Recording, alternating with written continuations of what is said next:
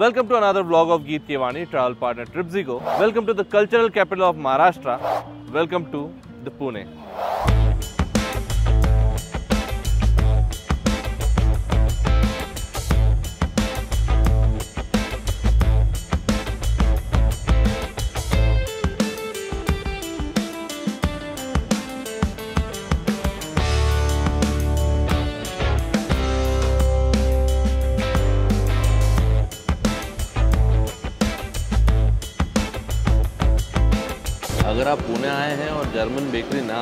आए तो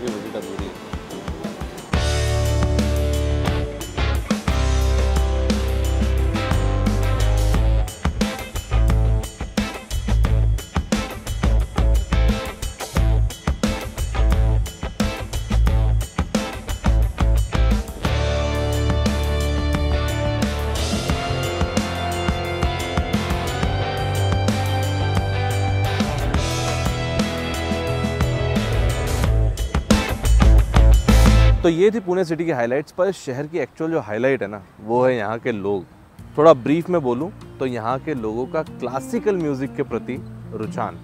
ऐसा मैं क्यों बोल रहा हूँ? क्योंकि जो मैंने एक्सपीरियंस किया है इनफैक्ट इतनी डाइवर्स सिटी है कि जितने लोग आपको यहाँ पर बॉलीवुड सुनने वाले मिल जाएँगे, उतने ही लोग आपको वेस्टर्न म्यूज़िक सुनने वाले मिल जाएँगे, और उससे शायद कहीं ज़्यादा लोग आपको यहाँ पर क्लासिकल म्यूज़िक सुनने वाले मिलेंगे। मैंने पिछली दिवाली में पर्सनली एक्सपीरियंस करा है कि सुबह पाँच बजे का जो कॉन्सर्ट होता है, वो भी फुल हाउस होता है। ऐसा ही एक रिनाउंड कॉन्सर्ट देखने के लिए मैं आया हूँ पुणे, जिसका नाम है सवाई गंधर्व भीमसेन महोत्सव। आप सभी ने नाम तो सुना ही होगा। एक्चुअल में मैं कल रात को ही यहाँ पर आ गया था और कल रात को जो मैंने देखा, उसकी एक झलकी दिखाता हूँ।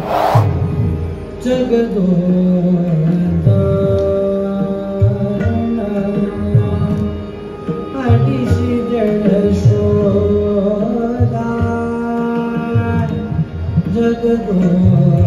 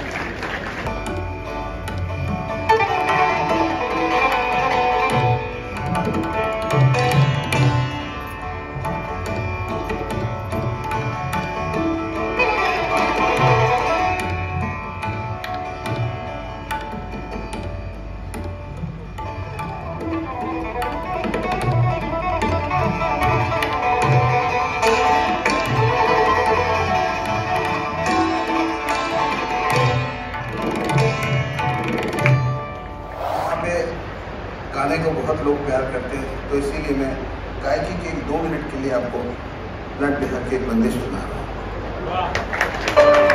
हूँ।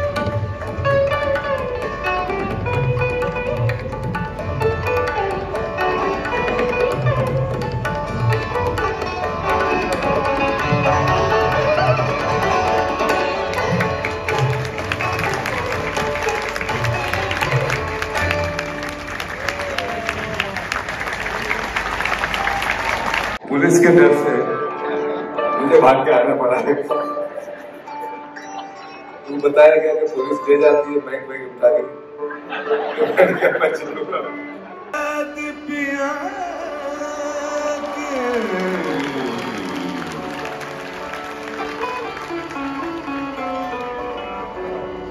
याद पिया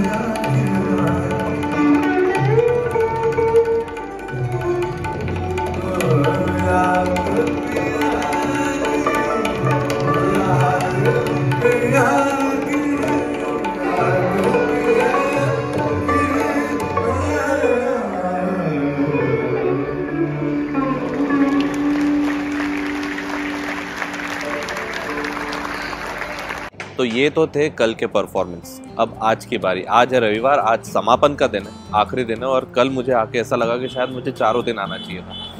एनीवेज नेक्स्ट टाइम जब तक मैं पहुँच रहा हूँ, तब तक आप ये जान लीजिए कि सवाई गंधर्व महोत्सव मनाया क्यों जाता है? सवाई गंधर्व कौन थे? कैसे इस फेस्टिवल की शुरुआत हुई? ये मैं नहीं बताऊँगा। ये मुंबई में जो गीतवाणी बैठे हैं, आपको वो बताएँगे। तब तक मैं पहुँच जाता हूँ, आप कहानी सुन के आइए। कहानी की शुरुआत होती है किराना घराना के फाउंडर अब्दुल करीम खान साहब से, जिनका जन्म 11 नवंबर 1872 में किराना नाम के गाँव में हुआ। ये किराना नाम का गाँव आज उत्तर प्रदेश के शामली ज़िले में आता है। वो एक म्यूजिकल फैमिली को बिलोंग करते थे और उनके घर का जो संगीत है, वो ग्वालियर घराने से प्रभावित था। शुरुआत में वो एक सारंगी प्लेयर थे, पर उस समय सारंगी प्लेयर्स को थोड़ा कम आंका जाता था, इसलिए उन्होंने वोकल की शिक्षा भी स्टार्ट करी और बाद में वोकलिस्ट बने। सारंगी और वोकल के साथ उन्हें तबला, सितार और वीणा का भी बहुत ज्ञान था।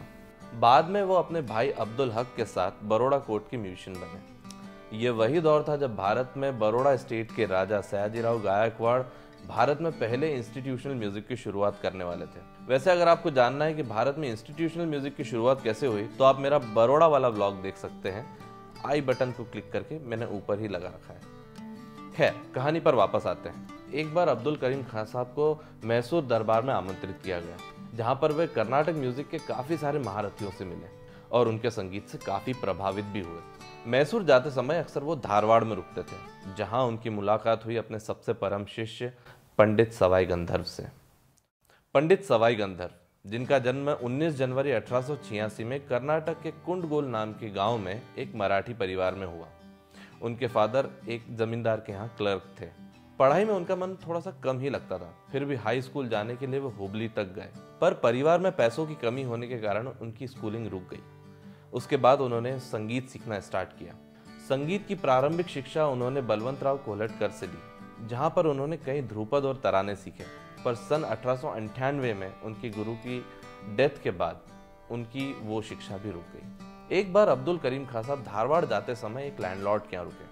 ये वही जमींदार है जिनके यहाँ पर सवाई गंधर्व जी के पिताजी क्लर्क हुआ करते थे। जब वो वहाँ पर रुके हुए थे, तब उन्होंने एक लड़की की आवाज़ सुनी, जो अब्दुल करीम खान साहब का ही गाया हुआ राग भैरवी में जमुना के तीर गा रहा था। अब्दुल करीम खान साहब काफ़ी प्रभावित हुए। उन्होंने जमींदार से पूछा कि लड़का कौन है? तो उन्होंने बताया कि ये हमारे क्लर्क का बेटा है और आपसे सीखना चाहता है। तब उनकी मुलाकात पंडित सवाई गंधर्व से हुई। जब सवाई गंधर्व जी ने अब्दुल करीम खान साहब से अपने संगीत सीखने की इच्छा ज़ाहिर करी, तब खान साहब ने कहा कि आपको हमसे कम से कम आठ साल म्यूज़िक सीखना पड़ेगा। उसके बाद सवाई गंधर्व जी अब्दुल करीम खान साहब से संगीत सीखे और देश के एक महान गायक बने। सवाई गंधर्व जी के शिष्यों में देश के कई महान कलाकारों के नाम आते हैं, जैसे कि गंगूबाई हंगल, फिरोज दस्तूर और भारत रत्न पंडित भीमसेन जी जोशी। अब भारत रत्न पंडित भीमसेन जी जोशी के बारे में कौन नहीं जानता। उन्नीस सौ बावन में उन्होंने अपने गुरु सवाई गंधर्व जी की डेथ के बाद उन्नीस में एक संगीत महोत्सव की शुरुआत करी, जिसे आप और मैं आज सवाई गंधर्व महोत्सव के नाम से जानते हैं।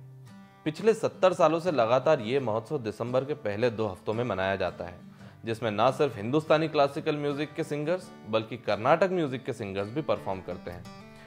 इनके अलावा डांसर इंस्ट्रूमेंटलिस्ट गज़ल सिंगर्स और भक्ति संगीत के भी कई महारथी यहाँ पर परफॉर्म करते हुए आए हैं। ट्रेडिशन के अनुसार महोत्सव का अंत किराना घराने के लीडिंग डिसाइपल्स ही करते हैं। सन 2005 तक पंडित भीमसेन जी जोशी खुद ही इस महोत्सव का अंत करते थे।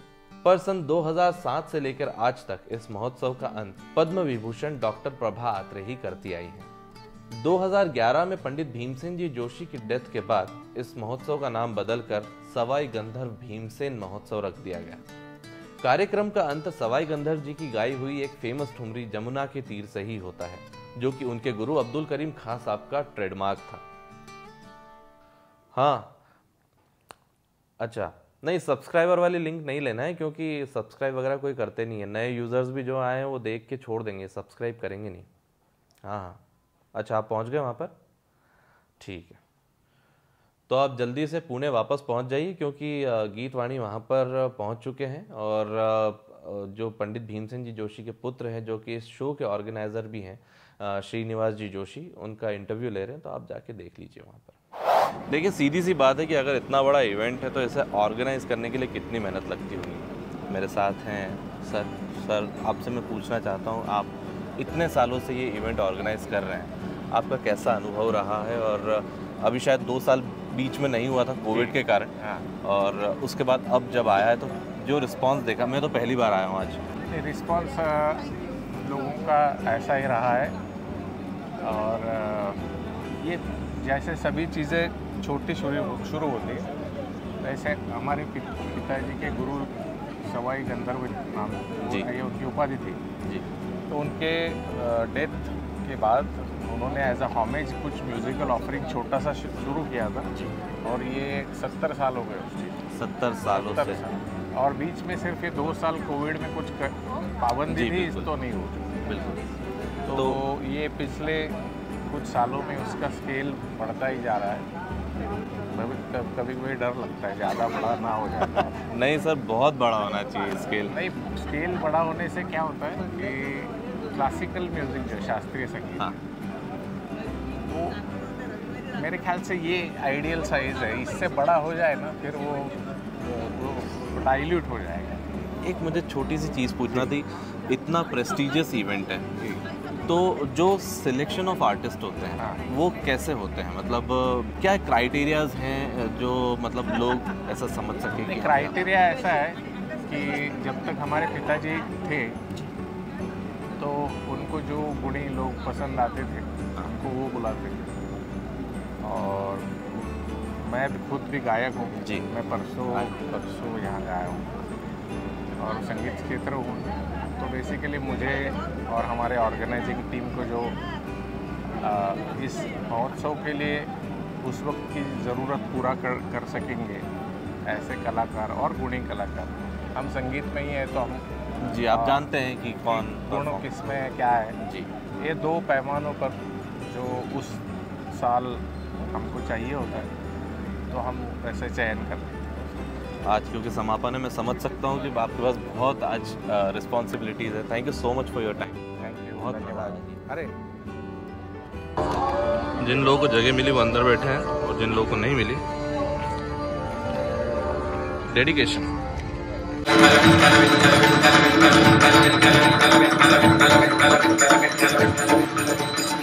come Vitala, Vitala, Vitala, Vitala, Vitala, Vitala, Vitala, Vitala, Vitala, Vitala,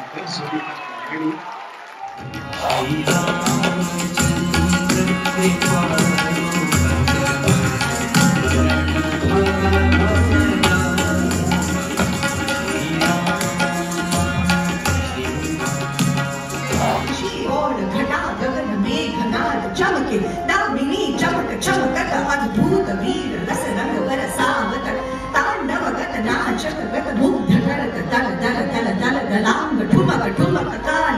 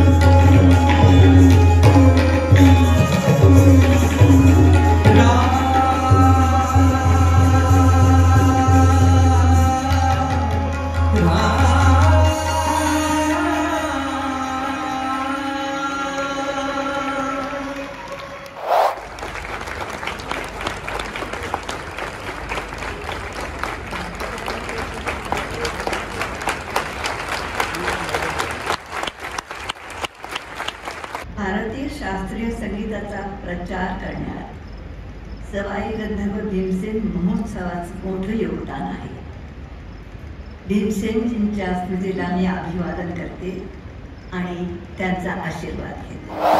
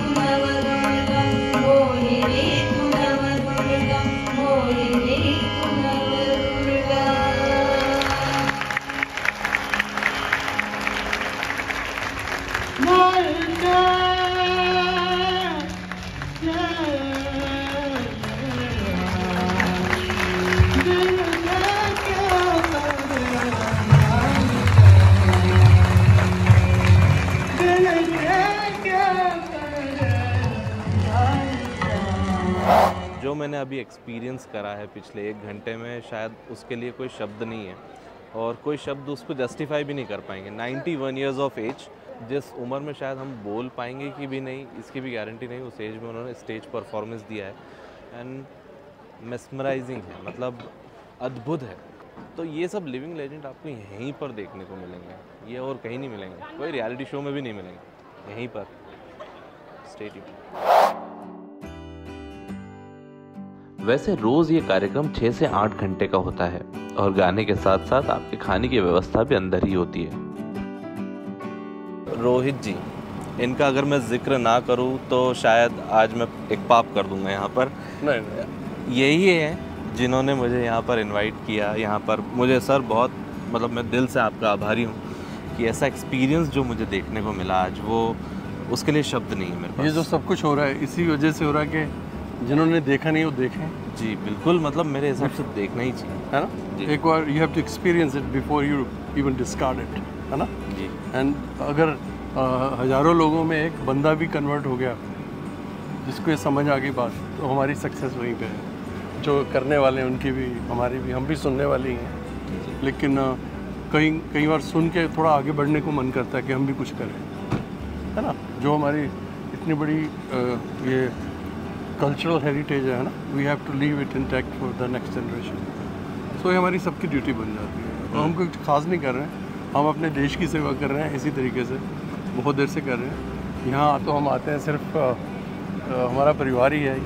तो लेकिन मैं अमेरिका में रहते हुए मैं हम कोशिश करते हैं कि मैं एक्चुअल में वही पॉइंट पे आ रहा था कि आप अमेरिका में रहते हैं और हर साल आप सिर्फ़ ये इवेंट ऑर्गेनाइज करने के लिए पुणे आते हैं। हाँ मैं मैं तो एक फैमिली का मेंबर हूँ। जी। मोरल स्पोर्ट होती है बट मैं मुझे बहुत मज़ा आता है यहाँ के। It's just like getting refreshment in your whole system you know और uh, भारत के जितने बड़े से बड़े महान कलाकार हैं वो यहाँ तो ये कुंभ है।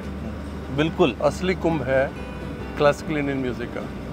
बिल्कुल सही बिल्कुल। जो जो सवाई गंधर्व भीमसेन सम्मेलन में नहीं आया महोत्सव में नहीं आया तो उसने बहुत कुछ मिस कर दिया। बहुत ज़्यादा कुछ मिस कर दिया आना चाहिए। हिसाब से। और uh, मैं आ रहा हूँ कम से कम 28 साल से। 28 साल? जब पंडित जी थे भारत रत्न पंडित जी, भीमसेन जोशी है। तो मेरा जो उनसे संपर्क है वो है 1995 से। तो एक बार वो टूर करने आए थे अमेरिका का under SPIC MACAY I used to be part of SPIC MACAY तो उसके बाद फिर एक ऐसे रिलेशनशिप हो गया कि I am like a family member and हमें कोई बुलाए ना बुलाए हम तो आ जाते हैं। अपना घर।